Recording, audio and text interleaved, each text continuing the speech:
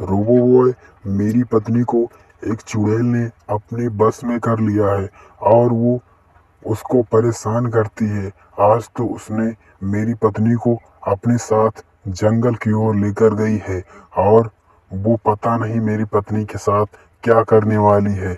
आप मदद करो, रोबो बॉय कहाँ है, चुड़ैल। चलो बताओ हमको।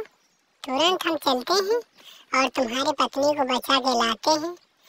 वो बहुत परेशान कर रही है उसको मैं सबक सिखाकर ही मानूँगा बहुत दिन से मैं उसकी तलाश कर रहा हूँ पर मिलती ही नहीं चलो आज देखते हैं उसको कैसे परेशान कर रही सब लोगों को रोबो बॉय बहुत देर हो चुकी है वो चुड़ैल को मेरी पत्नी को लेकर निकले हुए अब मुझे लगता है कि वो जंगल के बीचों बीच पहुँच चुकी होगी रोबो बॉय बिना विलंब किए हुए जंगल की ओर प्रस्थान कर देते हैं, क्योंकि रामू की पत्नी का पता चल चुका था कि रामू की पत्नी जंगल के किस छोर पर है। रोबो बॉय धीरे धीरे जंगल के उस छोर तक जाने लगता है और इधर रामू भी रामू भी रोबो बॉय का पीछा करते करते जंगल की ओर प्रस्थान कर देते हैं और अपनी पत्नी को ढूँढने का प्रयास करते हैं।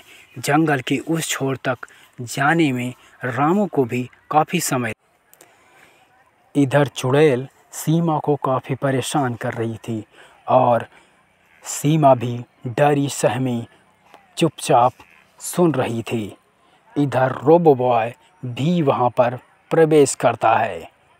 लड़के को पास आता देख चुड़ैल खुश हो जाती है। हा हा हा हा, आज तो मेरे पास दो शिकार हो गए हैं। आज तुम दोनों को मारकर मैं खाऊँगी और अपना पेट भरूँगी, क्योंकि मैंने बहुत दिनों से अभी तक भोजन नहीं किया था। चुड़ैल सीमा को बेहोश कर देती है। जब सीमा को होश आता है तो चुड़ैल की ओर रोबो बॉय को जाता देखकर सीमा डर जाती है। इधर रोबो बॉय वार पर वार कर रहा था, पर चुड़ैल को कोई भी वार नहीं लग रहा था, पर चुड़ैल अपनी सारी शक्ति खो चुकी थी और रोबो बॉय अब वार पर वार कर रहा था। अब वार पर वार करते करते चुड़ैल की मृत्यु हो जाती है।